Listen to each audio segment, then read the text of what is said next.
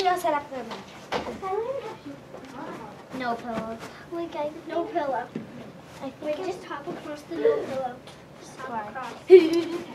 air mattress Alright, stop it. Just Go. We're testing out like what it's like to walk on the moon. So like, so like we like this side, so it's like it gives you that surreal experience. Cause like when you, you're an astronaut, you kind of it feels like kind of gives that extra effect. So like like when astronauts like take a step on the moon, and they like kind of bend over a little. So yeah. Oh.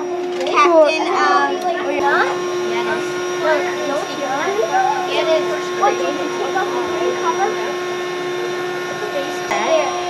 No, you know what would happen? We can put this like right by the door to the top, and then be like this. Not like boing, like boing, and then you go like, oh, someone fell.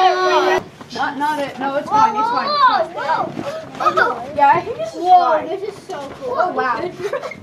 Watch out. Okay, do the walk across and see how we like it. That one. That one, you didn't give it. Do you want this one spread out? It's so stacky. Wait, turn it around. Turn it around so it feels bumpy. Yeah, Like, give the it more moon. texture. The moon's round. If you give it more texture. Okay. Wait, push Put it. that Pull on it- top, Yeah. Ow! Stop shocking me. Okay, wait. Lift it up. Wait. Don't put that on. Oh, it feels so cool. Okay, try it. Oh my One, wait, do one at a time like you guys have done. How do you know whose name? This is my neighborhood. Too bad. Max, go on the other side.